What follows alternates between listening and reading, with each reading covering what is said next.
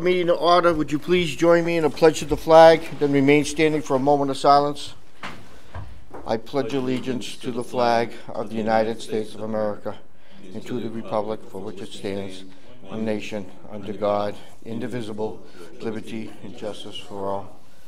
Please keep in your thoughts this evening, Representative uh, Frank Moran, a graduate of the school, lost his father last week, and also uh, the men and women protecting us around the world. Okay, Thank you very much.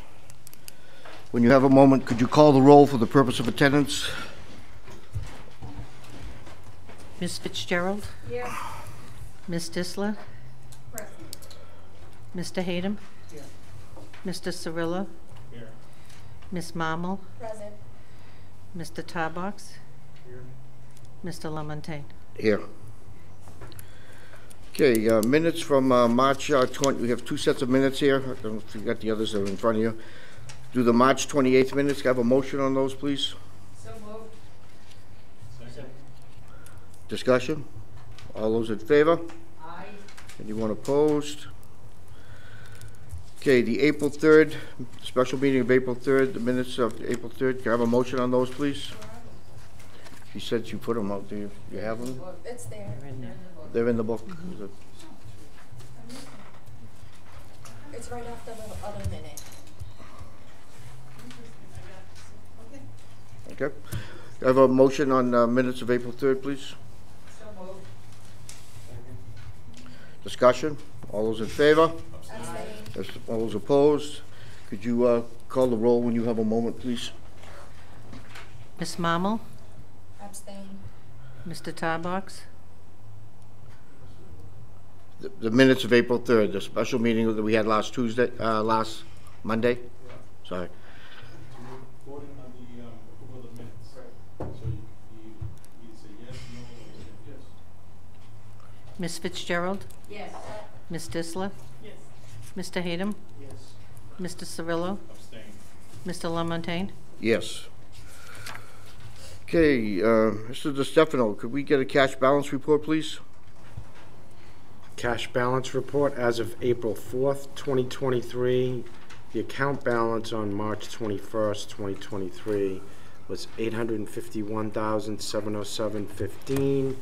We had deposits from March 22nd to April 4th of $3,308,948.74, less payroll on March 23rd of $1179.84, payroll on March 30th of $1,010,852.56, less warrant number 36 on March 20, uh, March 22nd of $64,062, and warrant number 37 on March 29th of $1,340,982.40 leaves us with a book balance on April 4th of 1,743,579.09 and a corresponding bank balance on the same day of three million, four twenty-three, four thirty, twenty-seven. In our MMDT account, the account balance on March twenty-first was eleven million, three thirty-one, three seventy-two, spot forty-three. Year-to-date interest was two oh six, seven ninety-six, oh one.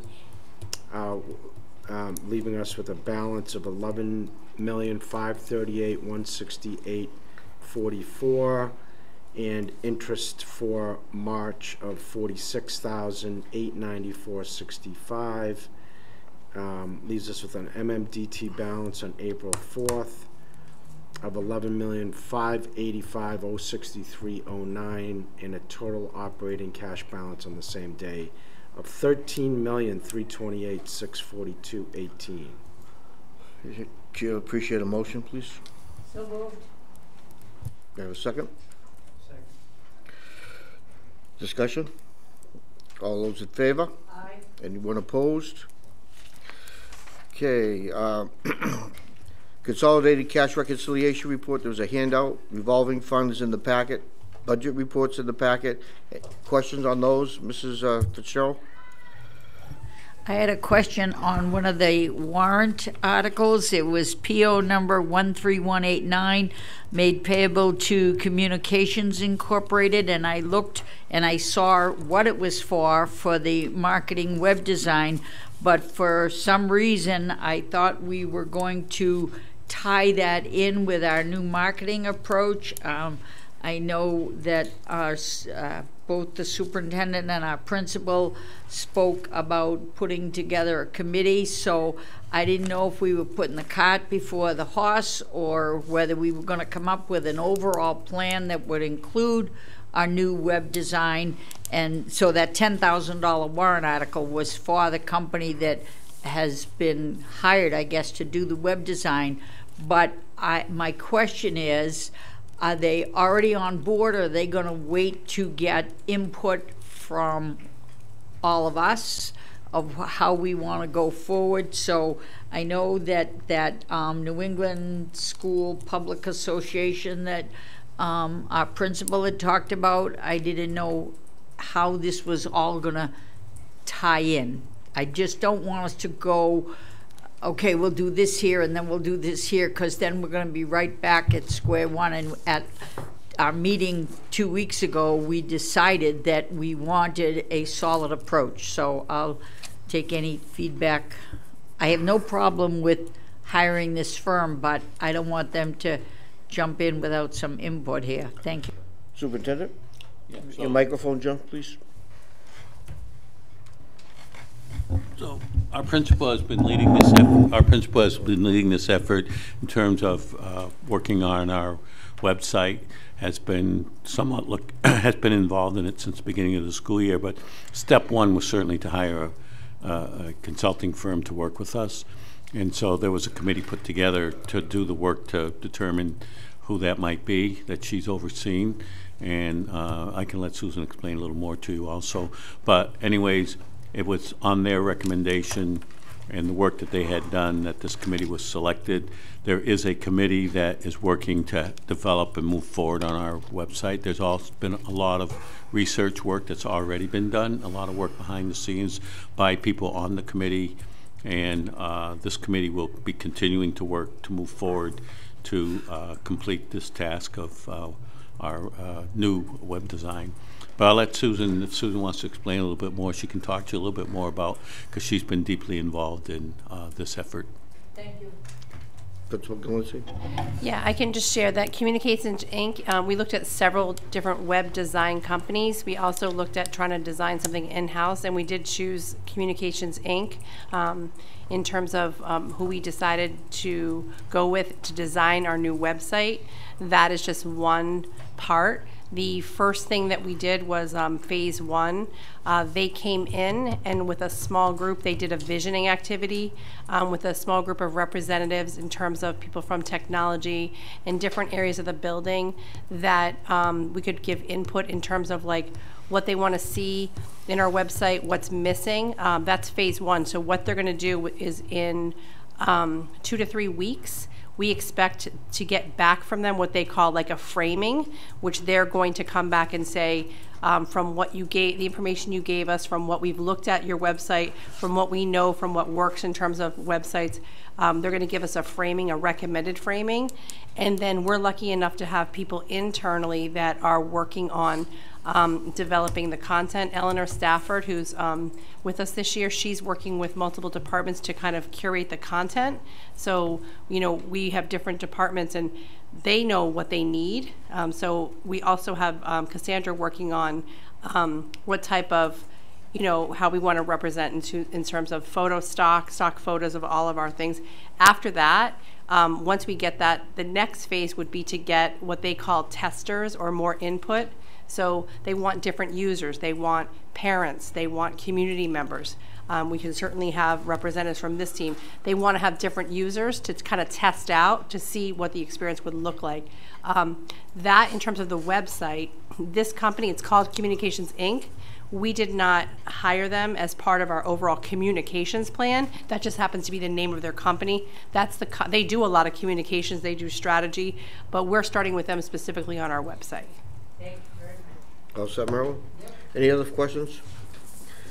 Okay, fiscal year uh, FY '24 budget, uh, Ms. Martell is going to pre- uh, present it, and uh, the administration is looking for us to vote on it this evening. Ms. Martell? So I'm not presenting the budget, but um, at the last meeting, I handed out the fiscal year '24 budget book, and hopefully you all had a chance to review it. Um, I didn't get any feedback, so hoping everything looks okay in here. Um, There was one addition that we made after I presented the budget, um, but it did go into the budget book, and that is what you'll be voting on tonight. So um, last year, we earmarked a million dollars for the paving project.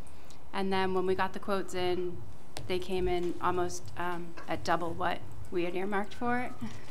So we decided to put the project on hold and wait for the cost of petroleum to come down. And we've decided to put that back out to bid this, probably this spring. Um, and we'd like to earmark five, another five hundred thousand for that project, so it'll be one point five earmarked to do the paving. But I just need you all to vote on the, using the five hundred thousand of E and D. And if you look in your packet, I've included, um, this is a page straight out of the budget book, the revenue page. And you'll see on there the E and D at the five hundred thousand. Yep. So we'll be voting to use that. And then I just included with that, just the backup, we had our E and D certified, which allows us to earmark that money.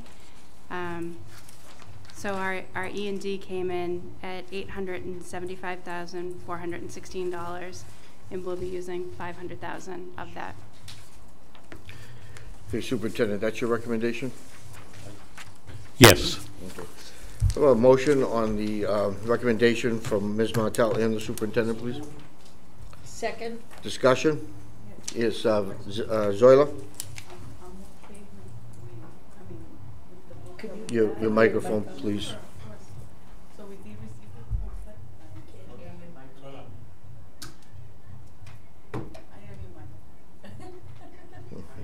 Or maybe there's two open. Oh. I'm just kidding. By the way, I love your hair. So this is just extra. That's one comment. And the other comment is it doesn't say that in the agenda that we were going to be approving this. So I need, I just looking to know that why it doesn't say that and now we are being told right now that we need to approve. So in order to, in order to use the E and D funding, you have to approve it. Um, it was in the budget book, but I just wanted everybody. Yes, you are. We're, we're approving the use of the E and D revenue. I think Sola's question was. Um, right. The question was that it was not uh, on the uh, on the agenda as a formal no, formal to no, approve. to approve it. When when did it come in? Was it one of those last minute items? I, I don't know.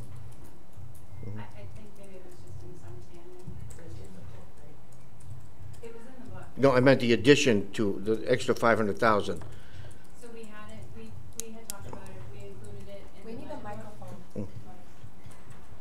We included it in the budget book, but before I release this to the cities and towns, I want to make sure that the district committee approves the five hundred thousand.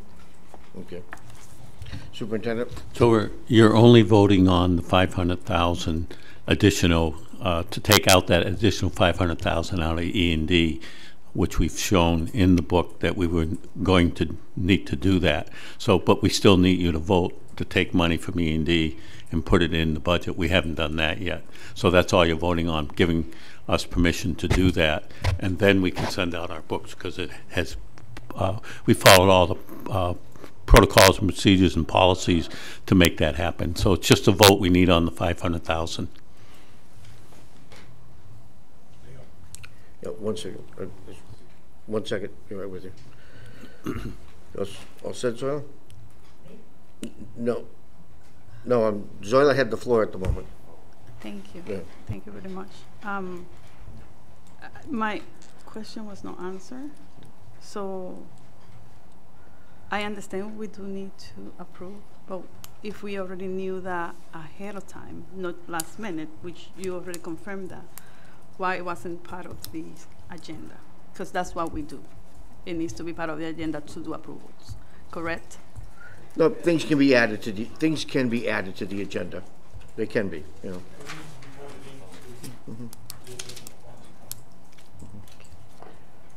Okay. You all set at the moment? Okay, uh, wait, no, Frank had, uh, Frank? It would need to be an estimated vote on to the agenda at this point, um, to, before we could actually vote on it. Okay, well, we can do that. Yes, uh, Superintendent, your mic, please. I mean, it is on the agenda. If you see, if you look at the agenda, it says, or maybe it's not on yours, maybe it's just on mine. Okay, so it's just on my agenda. All right. Um, It does say an update on fiscal '24 budget, and that is, this is the update.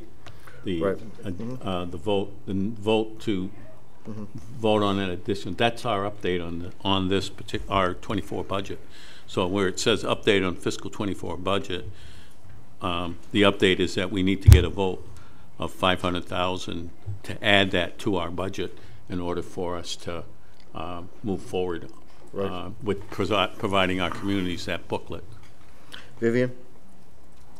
So what I think uh, Committee Member Zoila Disla is trying to say is, we could see the agenda ahead of time, obviously, and we're able to see in every item that we have in the agenda, certain things are just up for discussion, and then there's certain things where it is, there's a recommendation uh, to that motion, where it would require a vote. So I believe her question is, why, if, if we knew ahead of time, um, that it's not indicating on the agenda itself that there was going to be a, a motion for approval on this specific line item. Um, in addition to why this wasn't attached to the agenda as well, because we just received it today. Um, but I do have a question that I would like to add. The five hundred thousand, do you mind? I'm not sure if I, uh, understood or if I heard. Where would those five hundred thousand dollars be dispersed to? Hot tub, hot tub. Hot tub. Hot top? The Oh, the hot Paving, top. paving. Yeah, this is the Sorry. time I do that. Sorry, sorry, sorry, the paving. Hot tub. Okay, all set? Oh, yeah. Yeah, uh, Mrs. Fitzgerald? Yes, while we're discussing this, um, do we know yet, and do we need a vote for where it would go, the other, um, three hundred and seventy-five thousand dollars from the E and D? Do we You just leave it there, it doesn't have to burn a hole in your Okay. pocket. So we can just, we can throw it in and have it earn some interest, I like Yes. that. Yeah. Did I have a, m- I- on uh, approval of that five hundred thousand, did I have a, a motion and a second on that? I- You- I did, all right. Who, can I, who was it? Who moved? Who did the second? Okay, can you move, uh, remove your, uh, motion? Move it? I will remove my motion to, um, actually, I will amend my motion to, um, to add in the approval of the five hundred thousand, um, as an agenda item. Right, that's what I wanted to do first. We're gonna do two motions. Do two motions, okay? You, all right, moving your second? Okay, so you make a motion to put it on the agenda? Okay, good. You have a second? Going once, going twice. Now, uh, all those in favor? Aye. Anyone opposed? I have a motion to approve the, uh, the, um, remo, not the removal, excuse me, the moving of, uh, five hundred thousand dollars from the ED account to, uh, to be earmarked for, uh, hot top or whatever you want to call it. Do I have a motion on that, please? I'll make a motion for discussion. Second. Um, Frank? Um, and mind me if I'm wrong, I could be wrong. Um, aren't we supposed to approve the E and D after it's certified? Are we supposed to approve this E and D, um, after We're the supposed to get it, we're supposed to get it certified. I don't know if we, we, we really, well, maybe accept, excuse me, I'm sorry, maybe accept it, but we can't approve it because we don't really know the num, you know what I'm saying? Right. We don't know the numbers. We could maybe accept what was given to us. Well, you this know, will be the final number because it's been certified, So the correct? and D has been certified. Right. We have to get a vote of approval to be able to use it. Okay, To use it, right. right? no. It is what it is. It's no, we have Right. no impact on the change it or not change it or accept And it I or wouldn't not know what we're accept it. looking at anyway, to be Right, honest. right. Yeah, no, not typically. I guess so. Okay, you all set with your motion? Okay, you all set, whoever seconded is all set? Anything further? All those in favor? Aye. Anyone opposed? Okay, uh, donations, I see none, no articles, public participation, I don't see any. Okay, the superintendent will explain why or why not GLTS should go to school choice. John? So Every year, we have to inform the Department of Education, the DESE, uh, whether we're going to be a school choice school moving forward for fiscal, school year uh, 23-24. And that, uh, at this time of year, the committee needs to vote on either uh, allowing us to take on school choice students or not to. And given the fact that we're turning down over a thousand students each year, uh, I would recommend that we do not go to school choice. But that school committee needs to vote on it. Superintendent has a recommendation of uh, GLTS not accepting school choice students. Have a motion on that, please? So move. Discussion. Marilyn, did you? Oh, you you faked me out. Uh, All those in favor? Aye. Anyone opposed? Okay, thank you very much. School calendar is in your packet. I need a motion on to accept that, ladies and gentlemen. Discussion? Yes, Mrs. Fitzgerald? I want to compliment the principal for having this out in such a timely fashion. It has been years and years since I've seen such an early calendar. Thank you very much. Anything further? All those in favor? Aye. Anyone opposed? Co-op report in your packet. Questions on that document? In your calendar also, a May, cal- um, in your calendar, I'm sorry, in your packet, May calendar. Anything on that document? Excuse me? No, go ahead. Do you have a question? No, I, I didn't see, I saw calendar and I didn't realize we had a May calendar. Uh, so it says. Okay, uh, Spring Advisory Board, Superintendent will update the committee on the Spring Advisory Board meeting uh, Thursday, April 13th. So, so April 13th, uh, we will be uh, hosting our advisory committee here at the school. This is our second uh, committee meeting, advisory board meeting of the year. It happens at this time every year.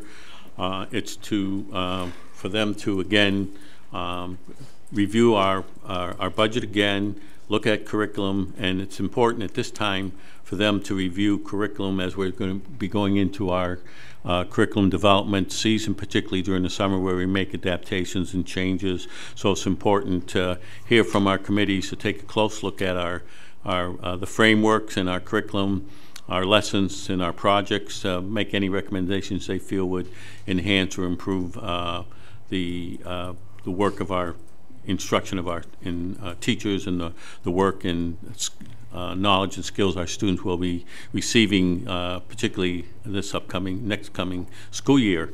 Uh, and uh, this year, also at this particular meeting, they will be giving us some more feedback on the strategic plan. I will present to them in, the, in uh, to start the meeting off in the in the pack to talk a little about uh, some of their first to thank them for their service, and then to then also talk a little bit about the strategic plan and the, how important it is to get their feedback to to kind of analyze and look at the particular industry. So they'll go through activities to kind of look at where their industry is today and where they think it might go five years from now to make recommendations to us to ensure that uh, we're including that in our five-year strategic plan. So their feedback is critical uh, in that work, and uh, that happens this Thursday, uh, two days from tonight. Questions for the superintendent? Yeah, Zoila?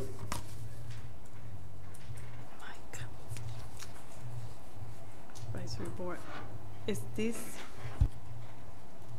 the one related to when they do recommendations for the different, the different shops? Or is this related to parents? Or is both?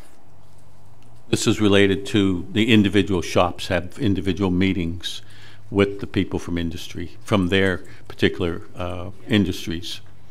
Yep, What day is that? Thursday. this coming Thursday.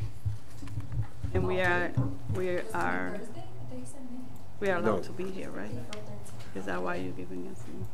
Uh, I'm informing, typically, uh, school committee members don't go to these meetings, but uh, if you have an interest on a particular meeting, um, they're open meetings, so feel free to go. It will be here at the school. Oh, different rooms for different uh, programs. So like if you're interested in, let's say, uh, carpentry, you go down to the carpentry shop. So go to the shops of whatever programs you would be interested in hearing more about their recommendations and the conversations that go on. Frank? Is the aviation going to have a an advisory board? They do have an advisory board, and we had a meeting with them about, f- I believe, four weeks ago. So, you know, I'm not sure if they're holding a, another meeting this coming. I can let you know tomorrow. Uh, I'm not sure on aviation whether they're holding another meeting since they had it four weeks ago. How about the programming in the childcare? Same thing with each of those. They all had to have meetings prior to our uh, submission of the uh, Part B of our application.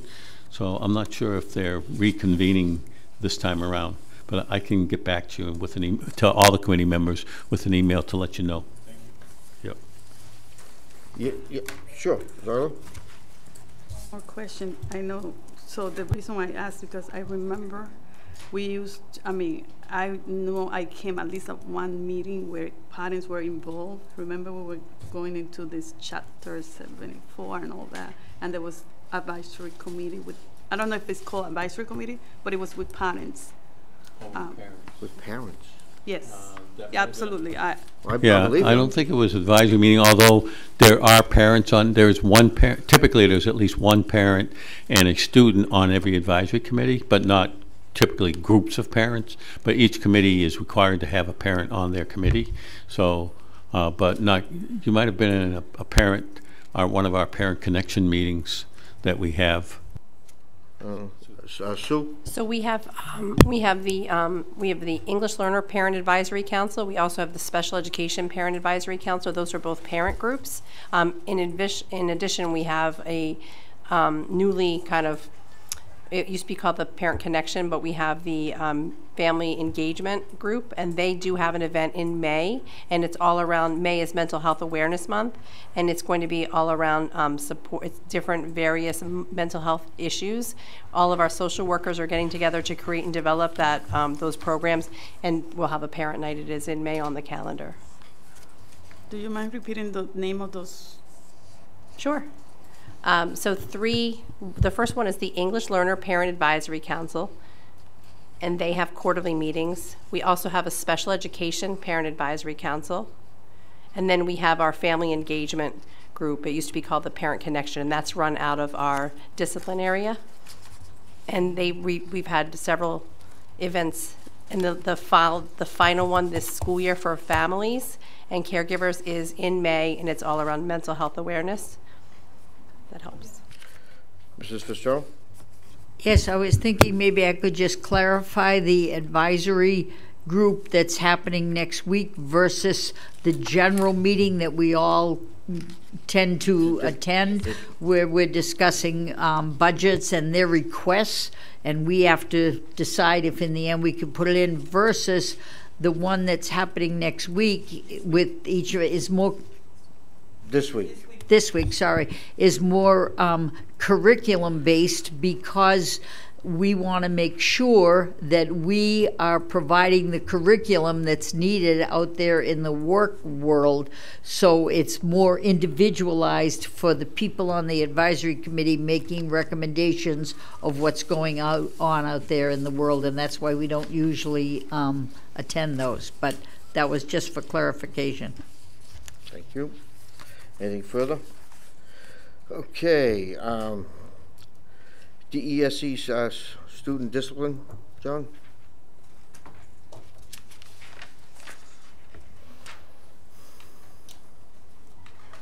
So the um, Department of Education, DESE, uh, has got, has uh, submitted to all uh, schools new guidance and update expectations for schools and district leaders relative to student discipline.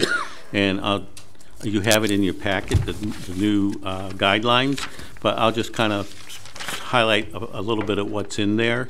Uh, One of the uh, real uh, I think, issues that they're trying to address and concerns is the, they want to see um, less long-term suspensions and uh, expulsions of students.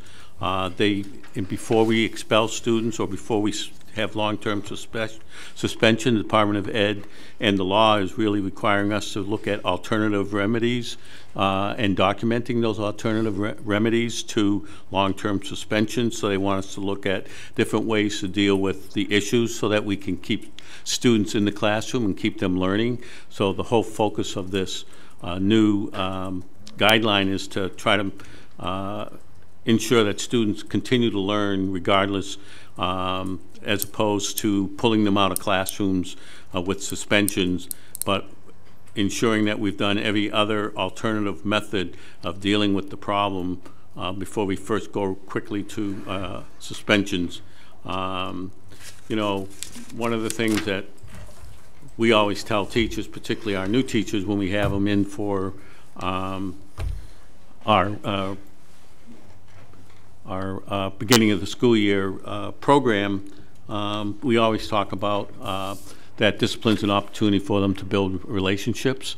And so it's how you deal with those uh, behaviors and how you deal with the issues is so important. So uh, what they're also suggesting is that we have a better, do a little more research on why students are behaving the way they are, uh, so that we have some uh, understanding of how we can deal with the problem in a different way. And some other suggestions of, uh, just to give you some examples, uh, some of their suggestions is to look at mediation, uh, conflict resolutions, uh, restorative justice programs, and looking at collaborative problem solving. So having uh, various stakeholders who are, care about that student, both from the academic, I mean, from the school's perspectives as, as well as from the family perspectives to kind of look at what's really going on with the student and how we can deal with the problem in different ways before we uh, first go to a suspension.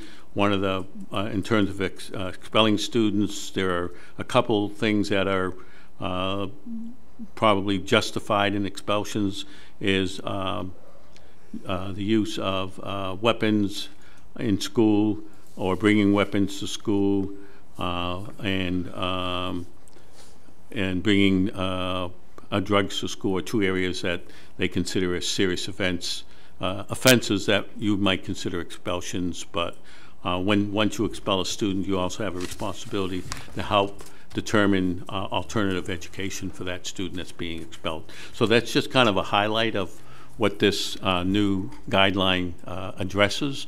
And so they're really looking for schools to uh, continue to um, better find other solutions than to immediate uh, uh, pulling of students out of the out of the classroom. So um, engaging students in different ways to help improve the their behavior uh, and showing them that um, we're not all, all about just immediately punishing students or trying to uh, impact their learning. But so uh, I think it's a really good guidelines. I, I really like the approach that the DESE is looking at us to work with and do.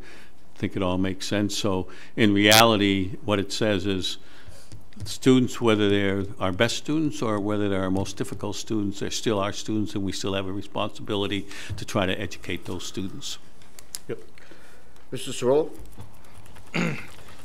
Um, This is not really new. This has been around for a year or two, and I've known of other districts that it's been a miserable failure.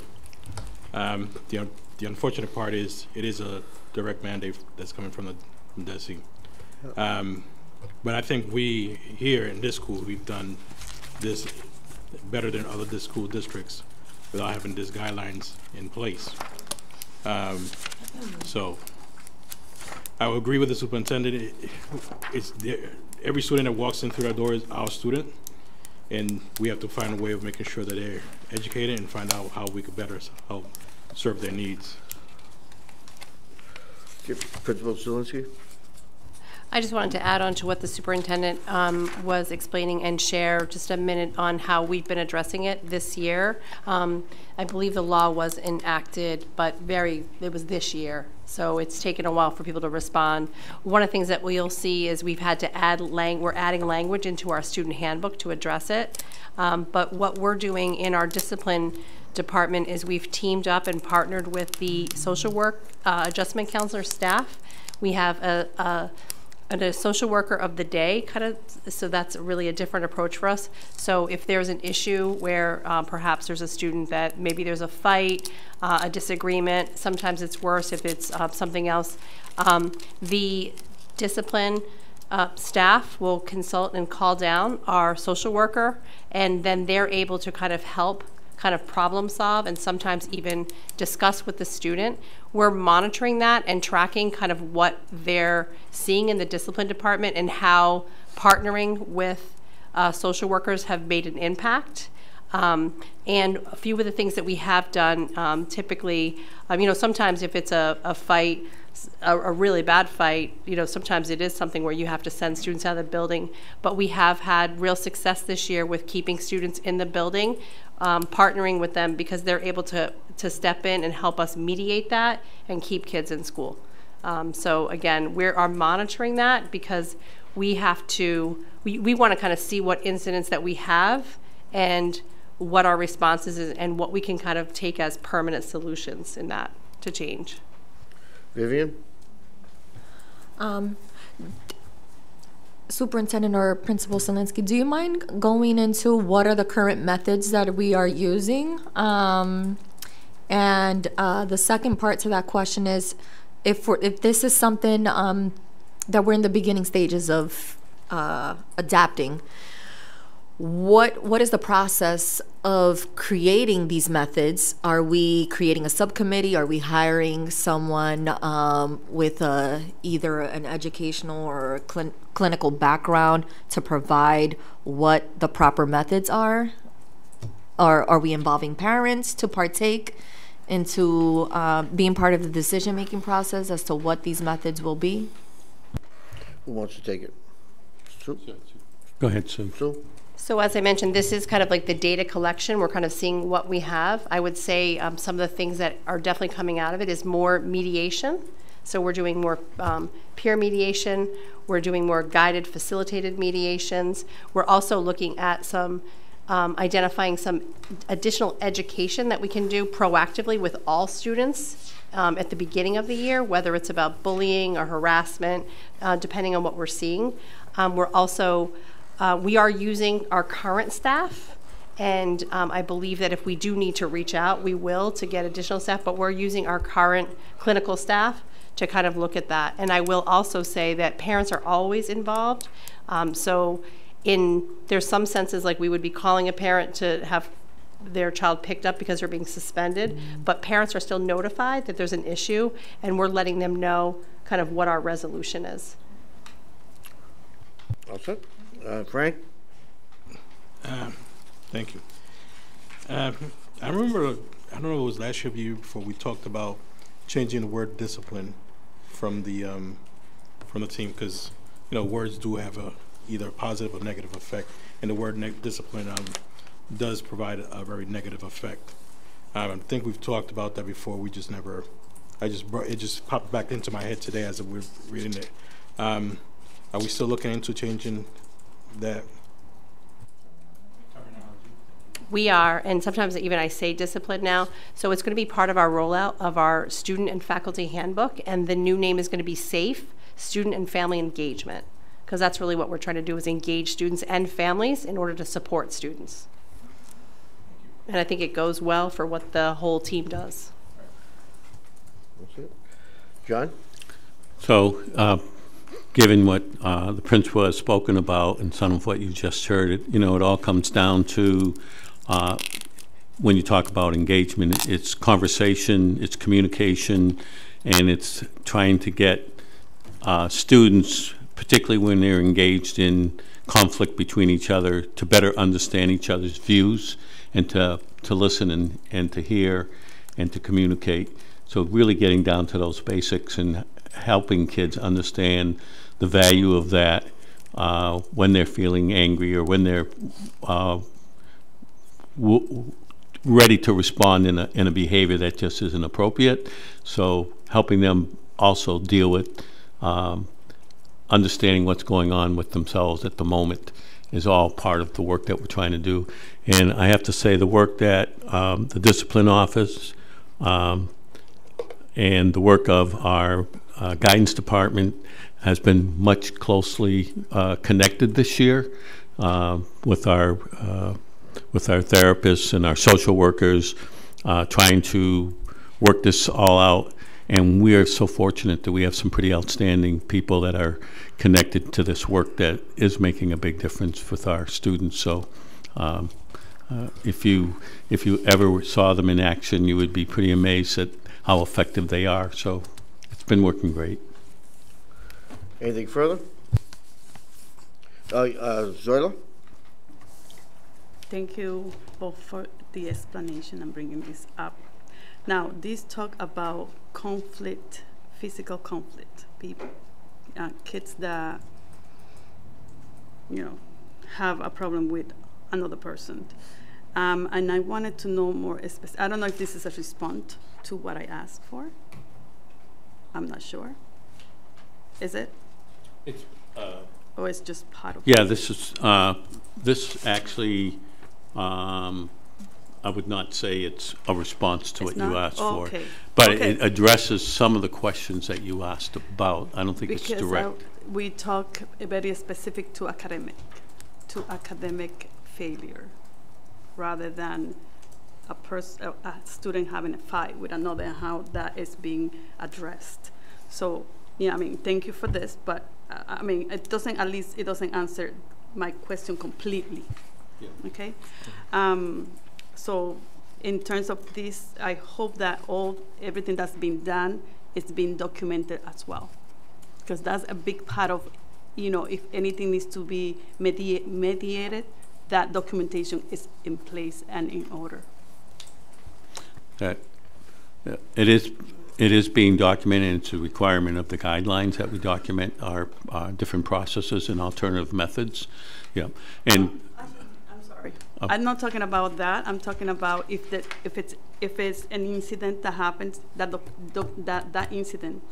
I'm just talking particularly to an incident that is being dealt with, not Okay. the process. Yeah, I understand the process is being documented. I'm talking about the resolution. resolutions of specific issues within individuals.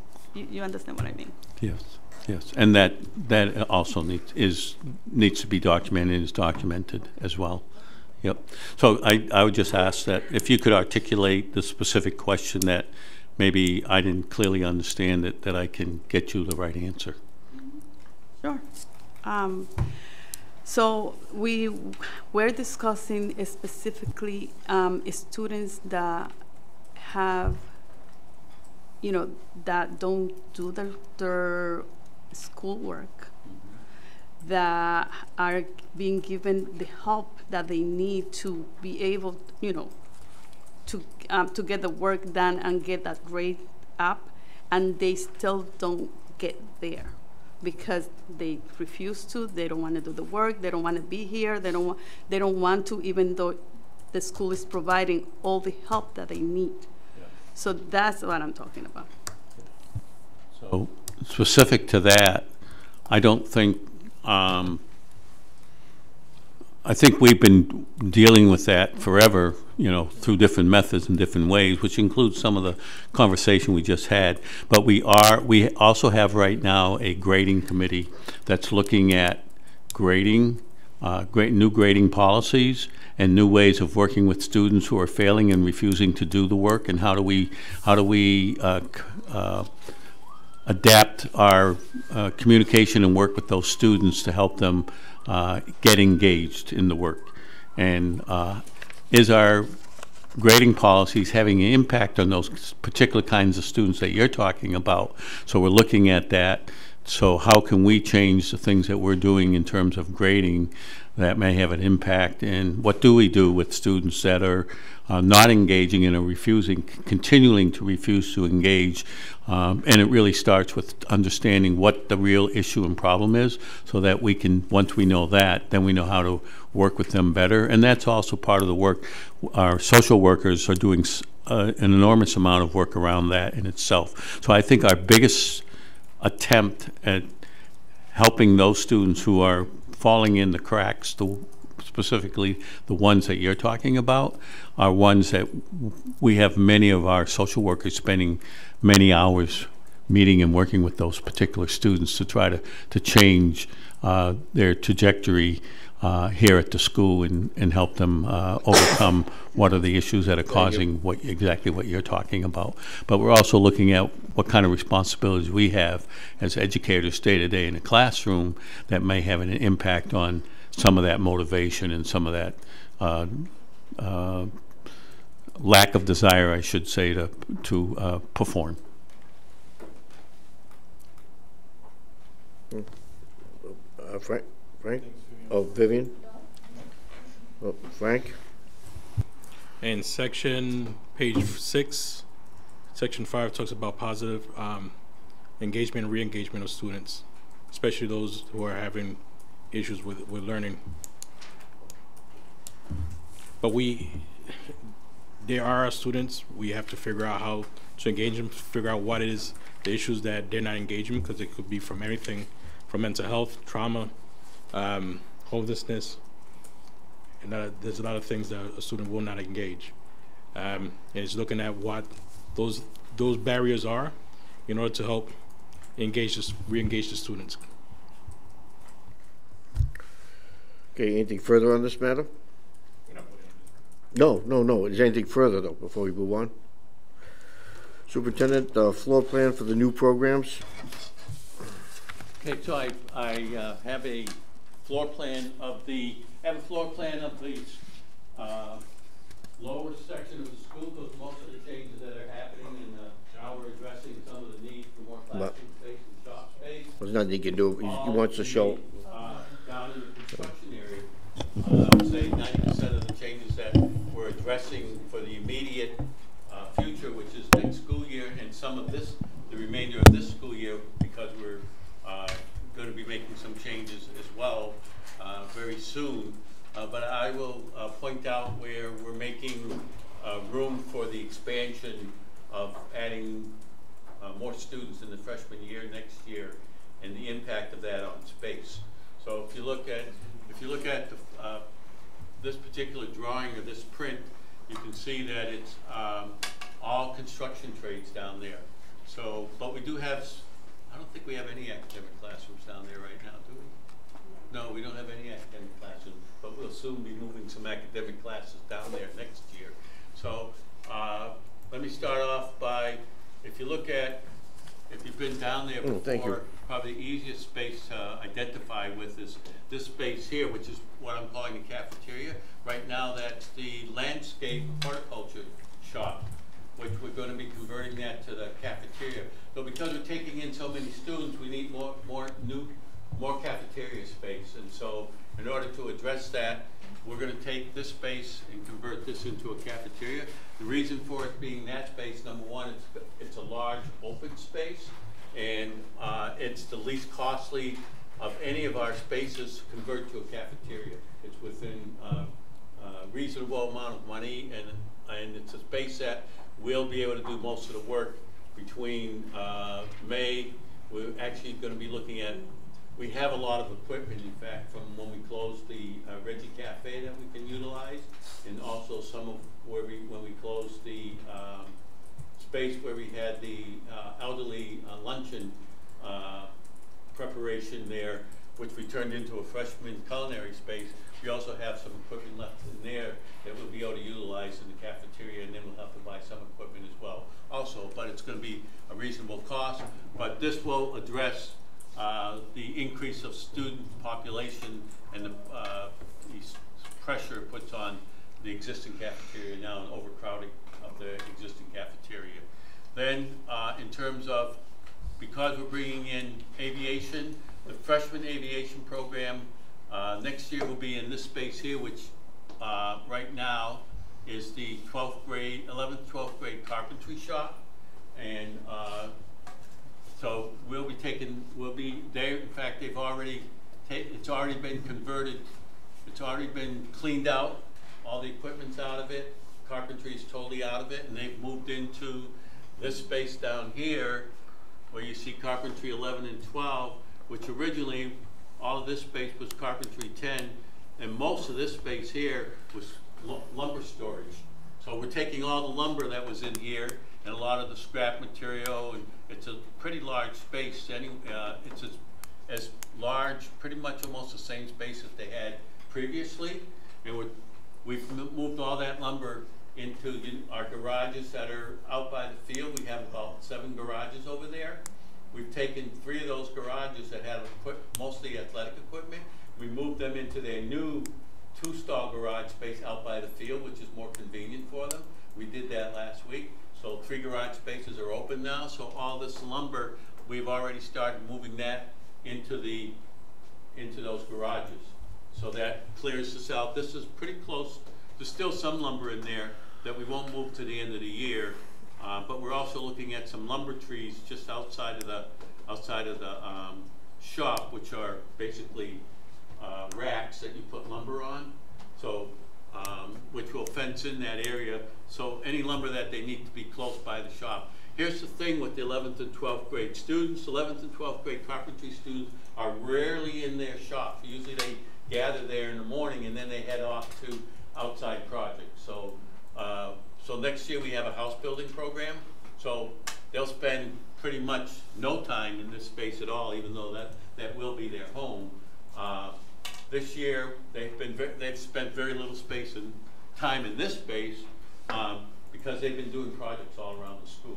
If you look out where the garages are, you'll see we've taken, and, uh, are taking the roof off three of the garages so far and expanding them so we can have more space. We're putting full, uh, Dormers. uh, A-frame dormers in the front of the garages with doors that we can take a fork truck and move stuff in. So we're in desperate need of all kinds of space, so we're gonna be able to store more up there. We've added some, uh, we're adding lighting up there, and so now we've doubled the space of the garage by having that second floor with the full shed dormer on the back side that the kids are working on. So, uh, the carpentry students and the electrical students are doing. They're about halfway through that project. By the end of the year, we may have one or two stalls left to do, but we'll be pretty close to there. Excuse me, Um, John, for a second. Mrs. Fitzgerald, you have a question? Sorry, excuse me, John. Yes, as I came in to, today, I actually drove around and I saw what you're talking about, and that was gonna be one of my questions. So are you planning on doing those like dormers on each one of the garages, or just the three that are already? No, All, all, all six of them, I think there's six of them. Wow, that'll Yeah, really all give yes. more storage space. Yep, but it'll, it'll double the storage space we have now in the lower garage. We now have that same space on the second floor. Thank And you. The reason we're putting A dormers on the front with a with a swinging door is so that we can bring stuff up. And we did order a new fork truck about seven months ago that can reach and it's heavy duty to, uh, so that we could utilize this space better uh, as well as with the barn. We can utilize the second floor for storage space also. It's about two months late, so we gotta, as soon as that comes in, we're hoping it comes in soon, but it's gonna provide us, uh, with the, uh, equip, the tool that we need in order to utilize that space effectively and efficiently. So, and we've done, so just the two garage spaces down on the field that are brand new that we opened up this year. We've put shelving all around those spaces, so it makes it easy for the uh, athletic department to keep their equi- equipment organized and, and, uh, inventory, so they don't lose stuff. So we try to do a really good job at making it uh, more efficient for them and easier for them to store their stuff. So as we do these different projects. We're trying to find the best way to maintain, because we are uh, looking towards uh, improving the work that we do around inventory and that kind of work. Uh, so that's part of what we, why we changed uh, the uh, position in uh, in the maintenance department, where we hired someone to take Beth's place, who did inventory, but um, this new person has done a lot of inventory. Well, it's the person we hired has done a lot of inventory we're going to be upgrading, uh, improving the work that we do around inventory.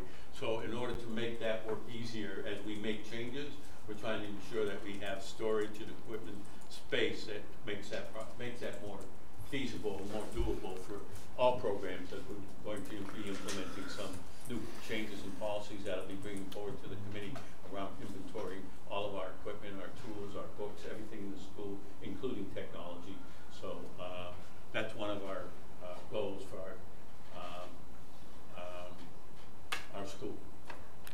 John, uh, Mrs. Fitzgerald has a follow-up question. Sure. Yes, i- it's not about the garages, which I was very impressed when I saw them today. But on your, when you were talking here about carpentry already going in there, right to the outside there, you have classroom and the number five. What was in that room before it's now going to be a classroom? What was there? Okay, so that particular classroom um, uh, was for the electrical low voltage. And so what we've done now, um, because electric low voltage wanted to be incorporated more with the regular electrical program. In other words, they want to be recognized as electrical students. But their, their curriculum basically has about a year and a half of low voltage but then the other two years of their program is full-blown regular electrical curriculum. So now they're in the phase of the curriculum, they're going into their third year next year where they're going to be more connected to the work that they do in the regular electrical program. So we've actually, we've moved them across the hall here, which is adjacent to electrical, and we opened up, we opened up a part of the wall. This shows more than we did actually open the wall, actually comes to here, the opening's over here. But there was a request from both the students and the instructor that they wanted to be closer and more connected to the actual electrical department. So that's why we moved them across here. And uh, the kids were very excited about that, and all the teachers were also excited about that because they feel it uh, makes them a stronger department. We can cross-train kids also. Uh, our low voltage instructor can now give more, their, low voltage is part of their full, uh, four-year electrical training, but now they have access to some of the equipment and the uh, resources we use in low voltage right next to their shop. So that's an improvement in, in its location. So that helped us in that. And then what that did was open up a place for a, a classroom. Um, and so, you know, this, it's not a huge classroom. I mean, because of the way it's configured. Uh, but what we'll do is, as we schedule next year, it's actually an extra classroom, but uh, we'll look at, when we schedule, what sections best fit that size classroom based on the uh, teacher-student ratio. Susan's looking at me. We looked at, we did a tour today about that space, said, that's small. I said, It is small, a little smaller than an average, average classroom, but it, uh, I look at it, there are, we have some classes that are like twelve or fourteen students, particularly in certain areas, and that would fit for that. So we, based on how we schedule our kids, that might work, I think it, it can work at one of our classrooms. So that's one of the, that's one of our new classrooms, uh, for next year. Um, so now, so then, uh, we got aviation going in here, that's the, just the freshman program until we get the new building built. Then they'll move out of that and that becomes available space for other things, uh, which won't be next year, but the year after. So then we have here, which I think is awesome. We got three brand-new classrooms, one, two, three. And we made those classrooms, this space here, here was all of carpentry, eleventh, twelfth grade, but none of this space was being utilized because it was full of equipment, stuff, some stuff we threw out. It was, it was unusable, there was just so much there was equipment, there was tools, there was all that kind of stuff in there that made it uh, unusable. So they were always only using this section of the shop. And so for avi, so what we've decided was, let's clean this out. And we ended up, we have a, we had in here a little paint shop. We took the, it was basically a, a wall and a cage. We took that down, that's already down. So now we have this space here for two classrooms. Then we have a wall over here right now that we're gonna take down. Uh, we'll either do it April vacation, we're gonna try to do it April vacation. Um, by taking that wall down and putting a wall here, I get my, my, another classroom. These classrooms are twenty-five feet by twenty-five feet, which is about the size of an average, an average classroom, not a large classroom, but an average classroom, I would say, that can hold twenty students, um, comfortably. So, um, that's gonna give us another, that gives us our three classrooms here. So one of these classrooms will be off of here, and these two classrooms, because they're adjacent to a shop, we're gonna turn these into related theory classrooms. So right now, this classroom here is a carpentry-related classroom, we're gonna move them into classroom two. And then, and then this can be a, I think that would be a great English classroom, uh, right there. So that's one class, that can be a classroom. And so then this classroom here, we can take, uh, we were gonna take, who's related room? There was a related room, gonna move it to there. Oh, horticulture's related room here, we're gonna move into here and make that another classroom. So then that gives us another classroom in, in its place. And then here's classroom four. You look at classroom floor, four, right now what we have here is a closet full of file cabinets. In this space over here, what we have is a, uh, a academy supervisor's office. And we're gonna move that office space over to here, so his office will be over here, and that gives us a classroom space of nineteen feet by twenty-seven feet, which is a little smaller than average, but pretty decent size still. Okay? I, you know, and I'm sure it's nineteen by twenty-five, I have good memory for numbers and measurements, because I'm a carpenter. So, in any case, Excuse me, John, uh, Frank? John, um, how many students are you expecting to move into these classrooms? how many? Yeah. Well, the average classroom is about twenty students. So these classrooms will easily hold twenty students. This will hold twenty students as well. Are these uh, academic um, Academic classrooms? classrooms, yep. But we're actually gonna put the related theories in here because they're adjacent to the shop and put all the classrooms on the main hallways on the outside because it's more convenient for students, the academic students, to stay within the confines of the, of the regular uh, hallways. What's that? I want you to tour to see what it really looks like. We can take a tour down there anytime you want. If you wanna come in someday, I'd happy, be happy to take you a tour, give you a tour if that's space. Mrs. Fit- Mrs. Fitzgerald? Yes, um, where, I see where the, um, landscaping is because we have a greenhouse. Yes. But then you have a really large space that says future landscaping. Um, where is that gonna be, in the middle of the parking lot? No, no, it's not in the middle of the parking lot, actually.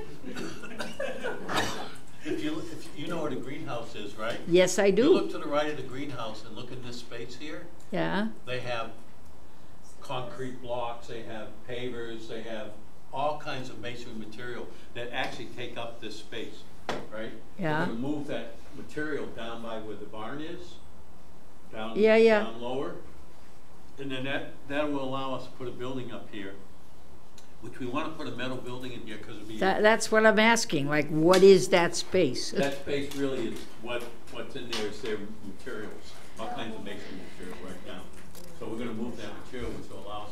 Now, here's the other thing I, I did wanna say, is that, as you know, when you come down this, this side of the school, Yeah, and you take a left and you come through here, when we repave, we're eliminating this as a drive-through, so that cars will no longer take a left here, they'll take a left outside here and come around.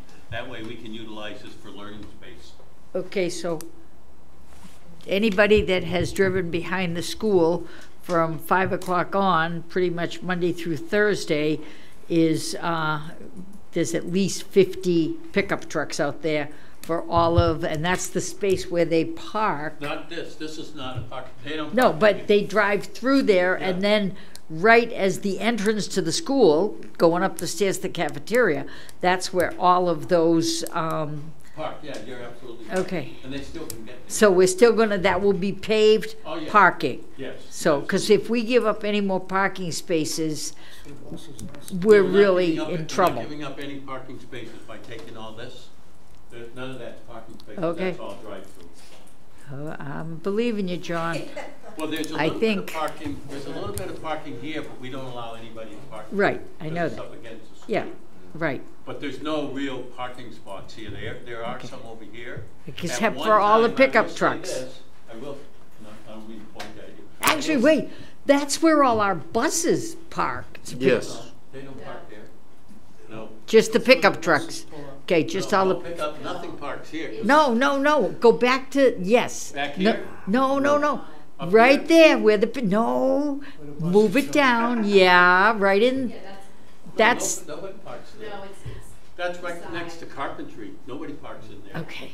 There's a So, lawn there, there's a lawn. all right, no, I, so I'm obviously seeing it differently. Were you right there on that? Show me where the corner is by metal fabrication. Oh, that's Oh, that's up there. We don't see That's a. Okay. seventy-two building. All right, That's a okay. 72 All right, building. all right, all right. Yeah, we're not seeing that on this drawing. Okay, Yeah. So, um, so I, I will say this, that where this, all this masonry stuff is, at one time was part of the parking lot, but it has not been for the last three or four years. So we did lose some spots there originally, but we are gonna make up some spots, because we're gonna get rid of the meridians, so we're gonna pick up a lot of spots that way. We're also where the tennis courts are, where we haven't had any parking for the last seven years, because we've been using it for the field construction. That's all cleaned out, so there's space there, and we're gonna take some of the field, some more of the unpaved area there, and turn that into parking spaces as well. So we will, when the uh, paving job is done, we'll have more parking space, probably about fifty more spaces than we have today. To help address some of the parking issue. So, Yep, um, I think, okay, that's one, um, that's, uh, I'll show you.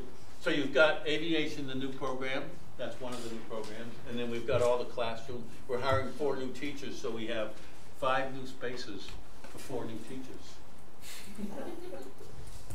So we're good. Okay, move on to the mezzanine now. Next, next drawing. All right, so here's, here- this is the mezzanine, which is up on the third floor.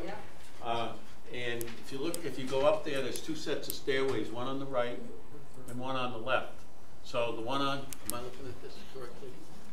Make sure I'm looking at this print correctly. Uh, Yeah, okay, so this is actually the stair, the stair, if you were coming from here towards the um, uh, auditorium, this is actually the first stairway you come to, because we're looking at it from this side down. So you come in this way here, and when you come in, this is gonna be, we're gonna, this is gonna be grade ten, uh, programming, grade nine, and grade twelve. Excuse me, John, you said this is the third floor. This is Yeah. the third floor. Yeah. Mezzanine, There's it's called the little area in mezzanine. the We call it- has the third, has a third floor. It's right It's across it's the the third floor from, it's the third. uh, from the auditorium. If you're going up the ramp, take a right, and then on your left is the auditorium. On the right, there's a stairway that leads up to the third floor here. So you've probably never been up there. Don't, don't feel bad. People have been here forty years and never been there. Okay? Yeah, yeah. Yes, uh, Mrs. Fitzgerald, before we start, is, what do you mean before we start? I meant before we start the mezzanine. Um, is this the space we just redid for our IT people? Oi, gewolz. Okay, So, um, so ten, nine, eleven, and twelve. So most, a lot of the work that we did ended up over here. If you look right in here, what we did, we pulled all, all, all brand new, uh, cable, fiberglass cable over to here for a new backup server in here, and that's gonna remain. So all that work wasn't for naught. And so we're doing, that's all still here. We put a, a door here, that server's in here, so we will still be utilizing, you know, the equipment that we targeted for that space up there. So it wasn't for, for naught, for waste. So it was, and it's something that we needed as backup. So that's where our backup server's going. We, all the wiring's pulled. We have the servers and all the equipment to put it in place, which we'll do this summer. Um, So we're ready, all, what we need for that. The only other thing we have to do is have its own air conditioning. So we gotta put a unit up on the roof for that, which we'll do this summer. That's a minimal amount of cost for that. Um, Excuse me, John, a second. Uh, Mr. Cirillo? Yeah. Thank you, Leo, for you. Um, and I think I just answered my question. I believe this is where the, um, programming, Yeah, this is where programming, going. these are all programming. That's gonna be the programming sh- uh, department up there.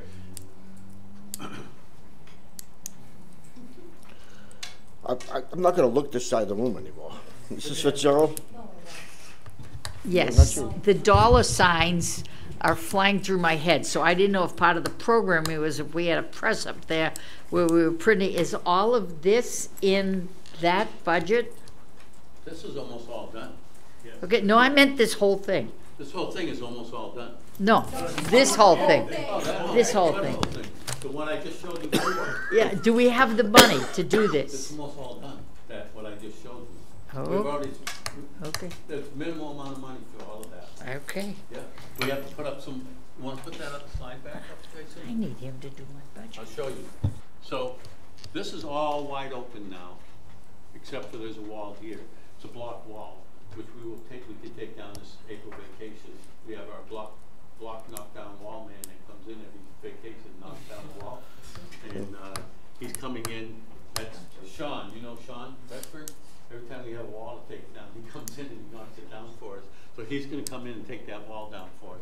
So it'll cost us whatever we pay him for three days of work. And then these walls here, our carpenter on staff will build these walls and put these walls up. Mark, who does all that, he's already built about three walls in the last two weeks. So he'll come in and put all this up, so it'll just be the material of about two, twenty-five hundred to three thousand dollars. And then we'll have, then there's some electrical work and some safety stuff to put in every, and all that.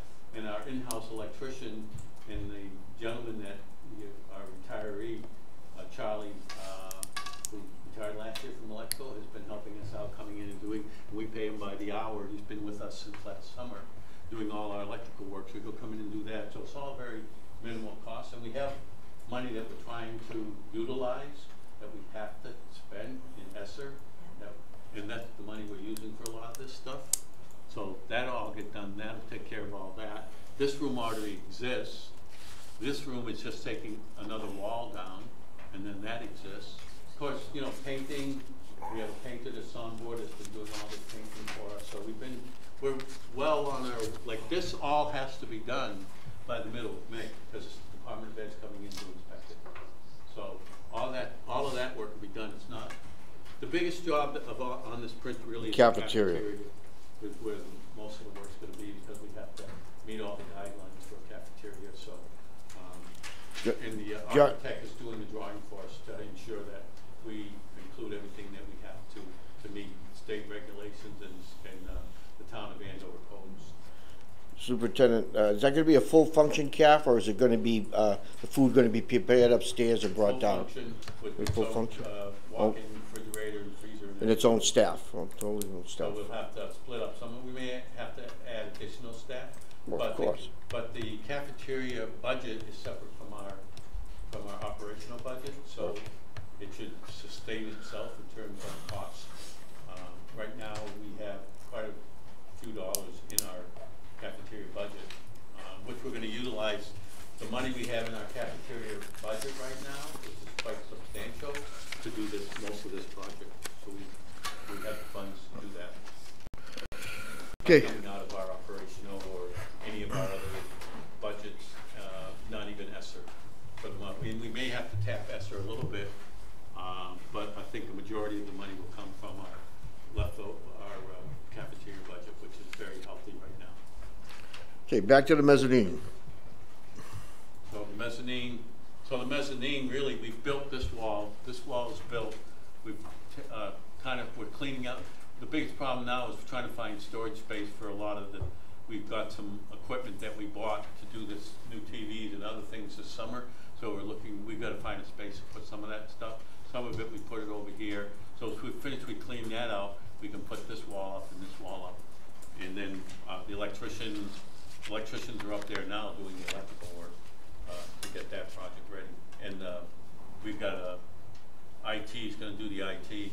I already talked to Jason, he said it was an easy job. Mr. Cirillo? And all this has to be done by, John, all this has to be done by May? Yes. Before that's, the May Department of Ed comes in? This, just this side has, this has to be done by May fifteenth, because that's the one classroom, that, uh, ninth grade classroom that has to be ready. So that is our main focus. These will be framed and everything, but we won't have Thank you. uh, you know, walk-in ready. But this will be, where we gotta have our TV, our alarm system, our, we gotta put in, uh, we have a sprinkler system already, but we have to move a couple of heads. So we have to bring a, a sprinkler a company in to do that, a, a pipe fitter to do that work. Um, but it's all been scheduled and it's all ready to go. Um, so, yep. Okay. Yes, yeah. I think we have one more drawing. Yep. The next one, please. It's not listed. What is it? It's, uh, So this one here is what we got, uh, the capital skills money. Uh, we got a grant to do this, these projects here. We are revisiting these projects. Um, one is the addition that's behind carpentry, uh, behind carpentry over here, and the other one behind the old carpentry shop. This is the freshman shop. Um, so I think at this point, we're looking at not doing this project here, because I think we've, we won't need the space. And in lieu of that, we want to take the funds, uh, and build that future landscape shop. But until we get the numbers, until I have the finished drawings and we have firm numbers, my, my feeling is that, um, we don't have to do this space here, we're fi- still finalizing that, because we'll have four, bet- between first floor and second floor, we'll have four new classroom spaces on that addition, plus we're gonna have some classroom space on the next drawing I can show you, but this was supposed to be, um, another section of building we're gonna put on, I really believe we, we won't have to put that section on. Um, We had a quote of seven million dollars to do these, to build the frame, put up the frame for this, this building, this building, and the one that's going against the, uh, gym, which is, is the next drawing. Mr. Cirillo? Yeah. Uh, John, quick question, and, and I know we're gonna be putting the programming on, on the other side of the building. Are we ever gonna plan to keep that program in IT cl- in close vicinity to each other? Where they're so much related to each other? In IT? Yeah. Uh, we could, I don't think it's necessary, because it, their really programming is, um, I don't think they have to be side by side. There's no reason why if we had to, if we wanted to bring them and have them do, look at doing some hardware projects and stuff, we could bring them down to IT, schedule some time, uh, down in IT. But there's no reason why we can't look in the future. I hate to start making more changes like two years from now, but I think putting program there was a long-term solution. Uh, we weren't looking to have to move them again. Um, because I think we can, uh, move kids down if we had to. A lot, even a lot of the hardware, uh, knowledge that they need in programming, we can bring instructors, IT instructors up there, up to this, uh, programming space and have them take the computer apart and do some other technical. And if we have to buy some, uh, uh, small equipment or tools for that, there's no reason why we can't do that, but we can make, we can adapt that. I feel comfortable about that. Mm, Further? Okay, con- continue, John, please.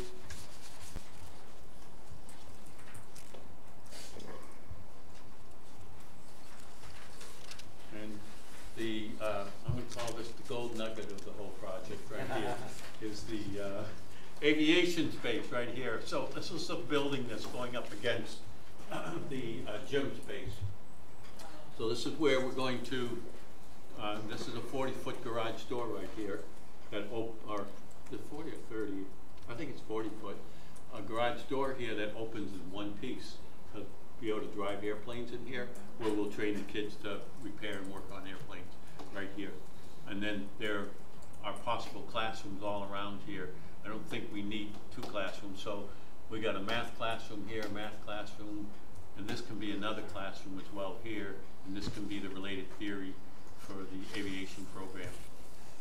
So we're also expanding our garages out there, which you haven't seen yet. There's, we're adding on to those garages out there, uh, that we're gonna make large enough and put a large door in front so we can park the airplanes we have under, under a garage. And then we can drive them over here when we need to, when we need to work, when we want the kids to work on them, so they have space. So that's future. So this building here is gonna be partially masonry and partially metal. So in order to save costs, we're gonna have, um, the first six feet will be, um, matches our building, and the upper part will be metal that uh, is aesthetically attractive to meet the rest of the building. Um, I want to make it, look- I won't let it look ugly, We'll definitely make it look, uh, that belongs there. But we're also, uh, gonna try to do it so that we can brick veneer it someday if we decide we wanna brick veneer it. Uh, if we don't want it to stay metal, but I think that the metal will look fine. I, think so. I really do, I, um, I think it'll be fine, and it'll save us an enormous amount of money going with the metal building on that part of it, which works great for a hangar space to teach airplane, uh, space, and that'll help us conserve some money, so, um, I think we'll be all right. Good. Anything further? Any further questions? Yeah, Bill? Mr. Mr. Mr. Tabo? Ooh, good. So John, aviation, will that be um, grades nine through 12, Yes, exploratory? yes.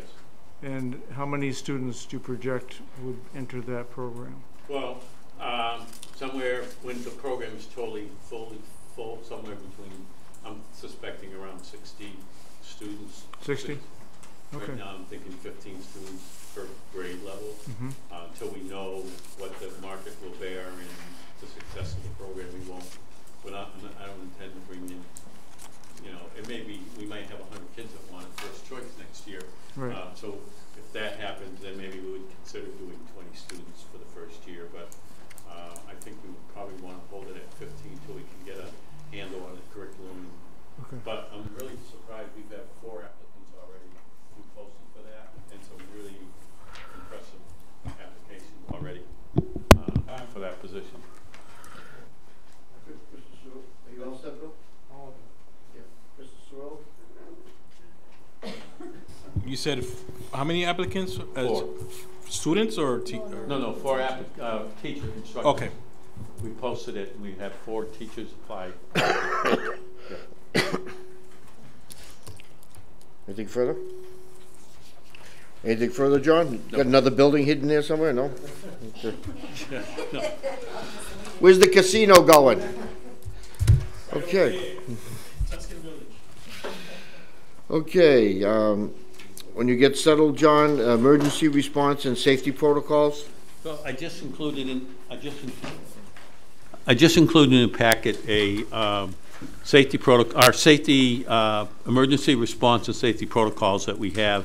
Uh, We talked about it at our last meeting, if I if uh, if I'm not mistaken. So I thought I would uh, provide you with, to, to take a look at. And uh, next meeting, if, uh, be open to taking any feedback after you get a chance to look at it and respond to uh, the document itself. Um, Give you some time to look at that. So I thought it's important for you to have a chance to review it. So I asked Susan to put it in the packet. Any questions on it? Well, you, nothing? Okay, yeah, yes, oh, I'm sorry, Zell, sorry, sorry. Uh, I do have a question already. Um, we were talking about uh, medical emergency. So within this packet that you put together, that you gave us, um, it does has a page that says medical emergency. So it's kind of explaining, um, you know, what to do in a case of um, a person ill. And you know, it's very vague in the sense of it just only had this sentence. So my question is, and it's, it's going to go back to the same question I asked before. Because this, um, the original question was, do we have a first aid? Um, what did you say? um, Response Mr. team? First aid responder, because I was saying team, but responders. So within this, and I know we can wait until the next meeting to answer all the questions, but I do, um, I do want to know if the people, like in, in here, it says very specific that if a person has an emergency, just call the nurse, um, stay calm, stay, I mean, stay the name, um, give the locations, describe the nature, and stay with the person. Um, I think I'm looking for a little more of, you know, what happened to give help to that person. But anyways. Um, what I want to see is when we understand this, that we do have people that are certified that are going to be uh, responding to an emergency um, until the professionals arrive. They need to be certified for, for definitely because then that person can be um, held accountable for in a court because if they don't have the right certification up to date um, and the person happens to die, that will be a big problem. So I just want to make sure that we are covering that, okay? Okay, thank you. You're welcome. Frank? Follow up to that, and most districts have staff is um, certified um, in CPR. Are most of our staff here certified in CPR?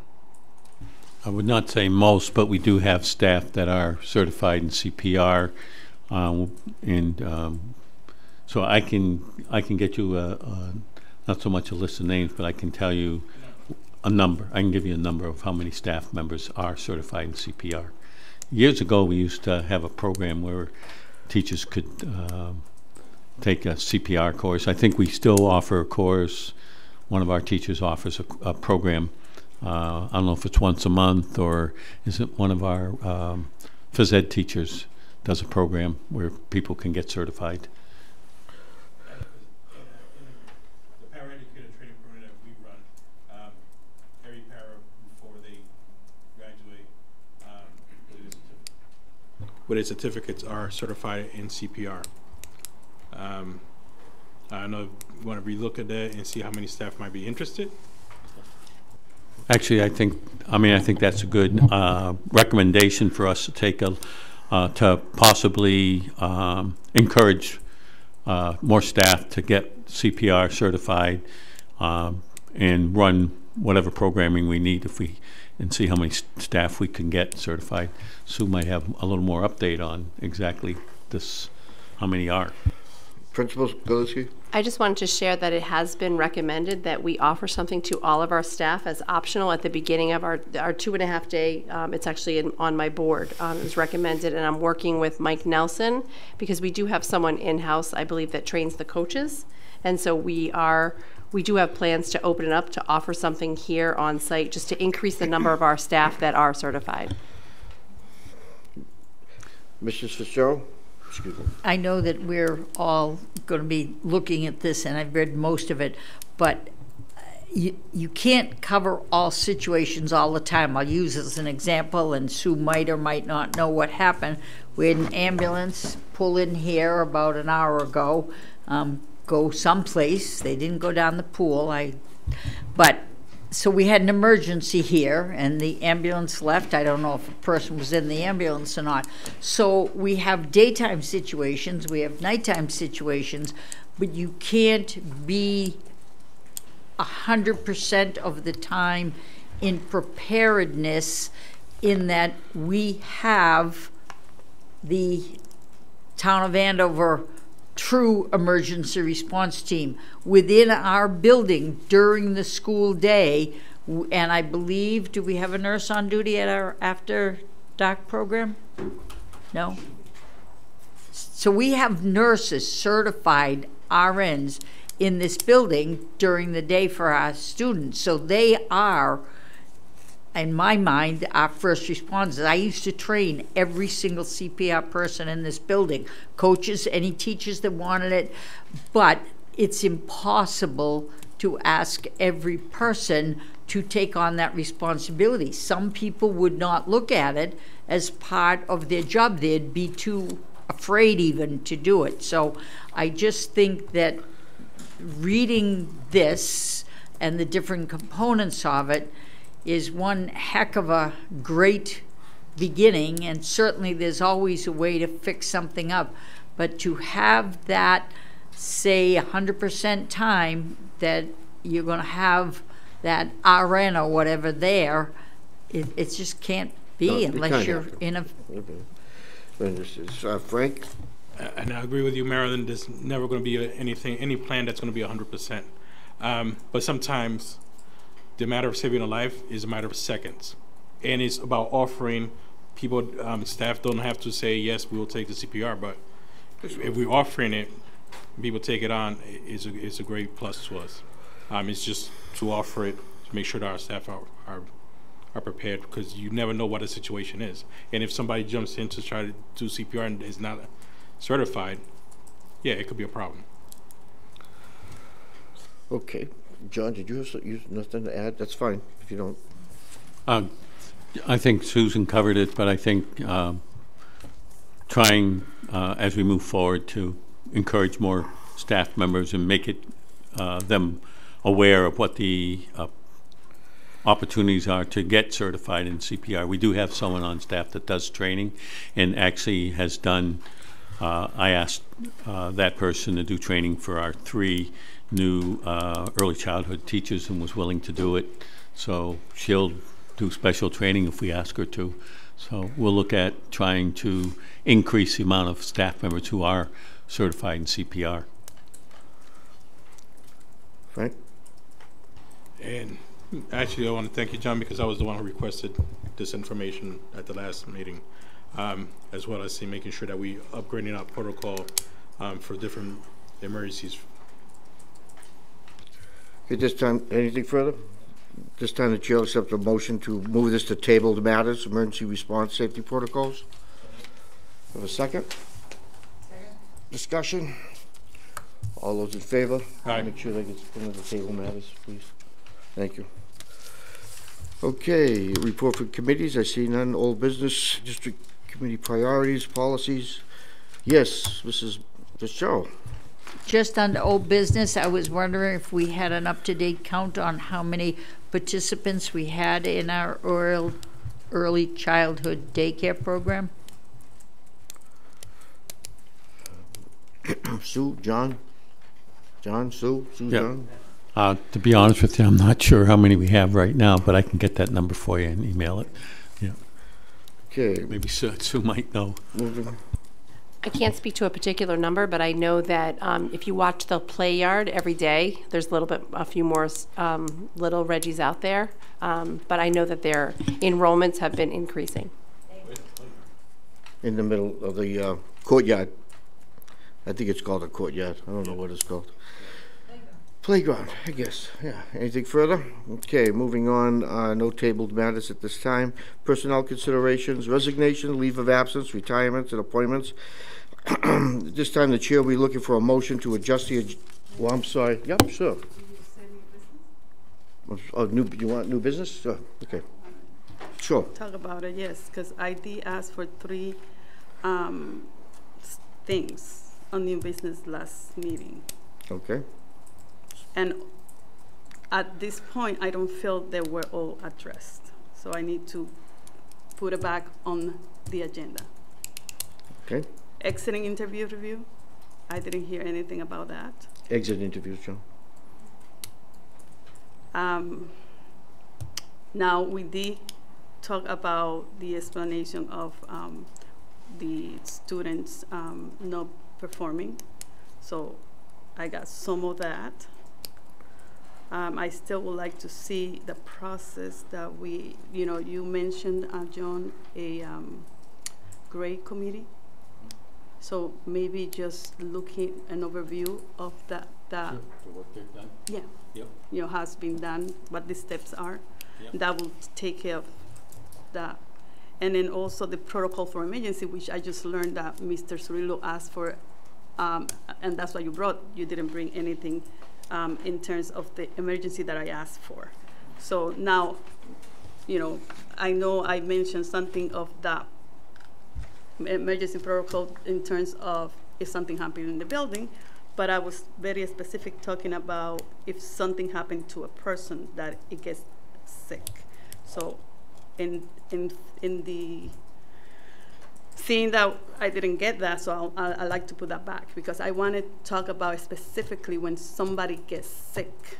And I understand um, Madeline's explanation, which I appreciate. I still don't, I don't agree with, with that, that no, I mean, yeah, we cannot be hundred percent everywhere when somebody hap- s- happen to get sick or, you know, have an emergency, uh, uh, health emergency, but we need to be prepared at all times of the, uh, of the day, because we do have people here, we have night classes, we have, um, the school full of people during the day. We need to have a very strong protocol for people that gets, um, into a emergency situation um, before the ambulance the ambulance get here. And it, as I said before, we that those people need to be certified in order to give help before the professional gets here and take over. So that's that's what I'm looking for. Put that into your report, John? You have it, you have it clearly? Uh, Yes, I have it. So in terms of the exit interview, HR is putting together. Yeah, right. Uh, Oh, I'm sorry. Uh, In terms of the uh, exit interview, H- our HR director is working on a, uh, a list of comments that have been made over the last five years uh, from our exit interviews. And so uh, when she completes that work, I'll, I'll bring it to, she should probably have it ready for the next committee meeting. But she, I asked her to put that together for us, so she's working on that. And then um, in terms of um, I can give you a report, a more detailed report on the work that's happened so far with the grading committee and some of the direction they're going in.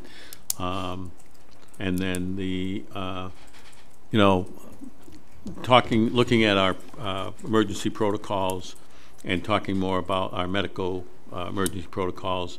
I recall a couple years ago, we submitted a document to the Department of Education. They request, requested medical emergency protocols for the school, and I will research, get a copy of that, and get a copy of that to you. Maybe that has in it more specific what you're looking for.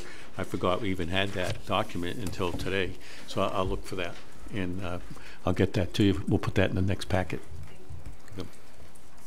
Okay, uh, back down to uh, job postings. At this time, the chair will appreciate a motion to adjust the agenda to executive sessions for the purpose of collective bargaining and possible discipline.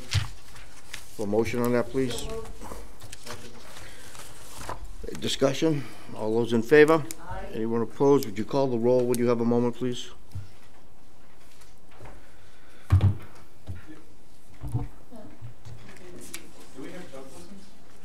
Yeah, we do, but I've just, we're adjusting the agenda to go into executive session. Mr. Cirillo? Yes. Ms. Marmel? Yes. Mr. Tarbox? We're going to executive session. I guess okay is kind of, okay is kind of yes. Ms. Fitzgerald. Okay is Fitzgerald? kind of yes, yeah. Ms. Disler? Yes. Mr. Hatem? Yes. Mr. Lamontagne? Yes. We will be coming back to the regular order of business and completing the, ag- the full agenda.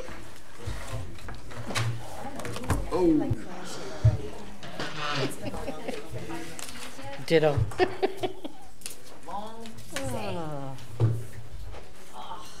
Superintendent, did you find your keys yet?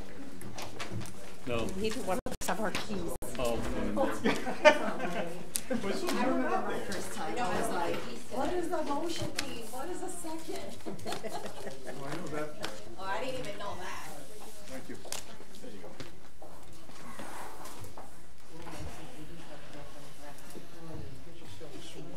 Go right ahead, I can't. I had phlegm, my, my blood sugar level is at three hundred.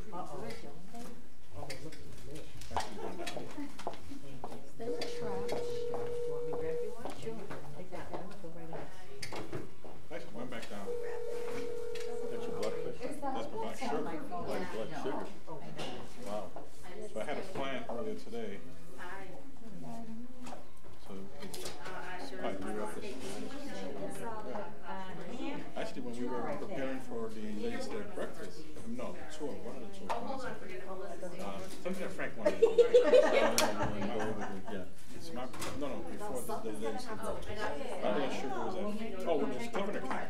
Okay, yeah. My blood sugar was at three something. Like My Riggs, trying to get me a hot dog. I got six four. Wow. Yep. That's I like your shirt. We're working on getting her back here. Oh, good. Getting who? The governor. Oh, good.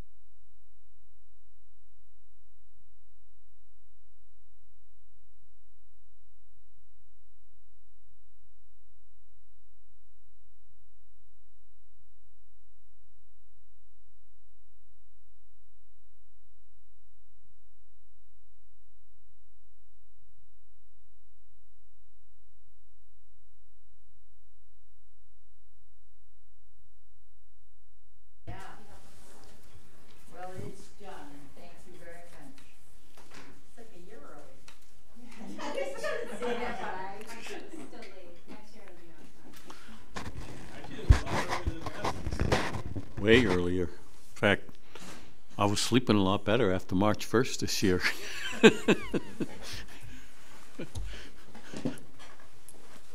Okay, going to, uh, the job postings, uh, superintendent, uh, do the first four, please. English instructor.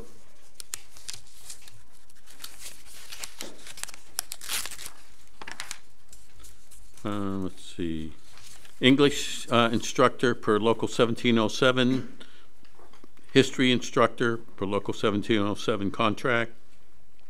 Math instructor per local 1707 contract. And biology instructor per 1707 contract. These are all new positions uh, in order to uh, cover the increase in student population uh, for the freshmen coming in this year. Okay, Chair will accept the motion. Discussion? All, all those in favor? Anyone opposed? Continue, Superintendent, do the next four, please. So this is a cafeteria, cafeteria monitor will assist the school personnel in providing supervision for the cafeteria based on the new cafeteria contract. Um, this is a new position, and, um, this person that, uh, is actually, um, moving from, uh, original front desk over to this position because we now have security at the front desk, so, um, and the salary is covered in the cafeteria's, uh, budget. Dental assistant? That's no instructor? assistant instructor per local seventeen oh seven contract. This is a new position, uh, to cover the, uh, um, to cover that fourth instructor that they've been looking for the last few years because of the expansion of uh, curriculum and uh, the work, um, them having to do uh, outside, um, what do we call it? Clinicals uh, out at the uh, dentist offices. English learner? And English learners ELL instructor uh, for 2022 per teacher contract. This is a replacement position. Uh, Long-term substitute in biology from May to June 2023. Okay, Chair accept the motion. Discussion? All those in favor? Anyone opposed? Okay, John, lead teacher? Lead teacher, department liaisons, local 1707. uh, For the next school year, this is an annual position. These are for all the new lead, uh, to rehire our lead teachers for next year. CPT facilitators, uh, local 170 contract, 15 career area teachers, 17 academic teachers, one guidance counselor, one CPT facilitator. This is an annual position that we hire for, for next school year at this time every year. Advisory monitors per local 1707 contract for school year 2023-24. This is also an annual position which we appoint, uh, that we hire at this time of the year as well. Instructors for adult train, uh, this is, gets into the night stuff, so. Oh, okay, let's, uh, Chair will accept the motion. Discussion? All those in favor?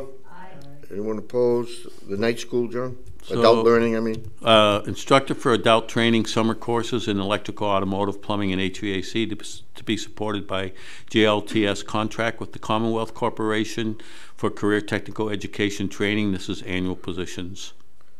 Uh, instructor for adult training and advanced manufacturing to be supported through a contract with the Northeast Advanced Manufacturing Consortium through MassHire, North Shore Workforce Board, annual position.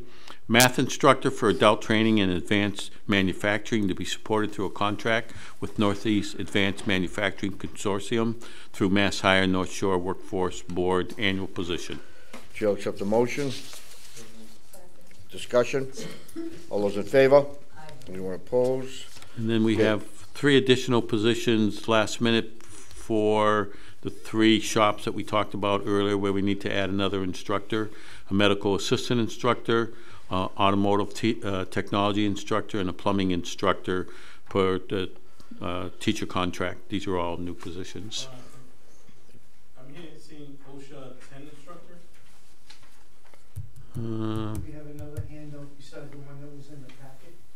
Oh, on, okay. Uh, I don't have it on mine. I don't have it on mine. Uh, ah, Okay. You want to read that one, Susan? Thank you. OSHA 10 instructor for advanced manufacturing training to be supported through a contract with Northeast Advanced Manufacturing Consortium through MassHire North Shore Workforce Board annual position. Okay, Chair, accept the motion. Discussion? All those in favor? Anyone opposed? Anyone opposed? Future agenda items, workshop for April twenty-fifth, five-thirty, strategic plan. John? So this is, uh, Oh, I'm sorry, hold on. we didn't vote on that. we didn't the- oh, yeah, the ones we had. The uh, medical assistant instructor, the automotive teacher instructor, and the plumbing instructor to fill Already those asked for- positions for expanding those particular programs. Okay, thought I asked for a motion. Okay, do I have a motion on those, please? Second. Second. discussion? All those in favor? Anyone opposed? Okay, future agenda items, workshop, April twenty-fifth at five-thirty, strategic plan. John? So this is a workshop that I was going to do with the school committee to get your input on uh, the strategic plan. So I thought we could spend a half hour uh, going over particularly the uh, leadership, uh, focus group on the leadership to get uh, school committee's uh, input. I I will uh, send you some document, a little bit in- more information in your next next packet to better prepare you for that uh, workshop. It's really to get more input uh, in terms of policy and some of the work that we should be doing moving forward. Su- Frank? The, the twenty-fifth. 25th, our next school committee meeting. Yep. Anything further? If there's no further business, the chair will accept the motion to adjourn. All those in favor? Anyone opposed?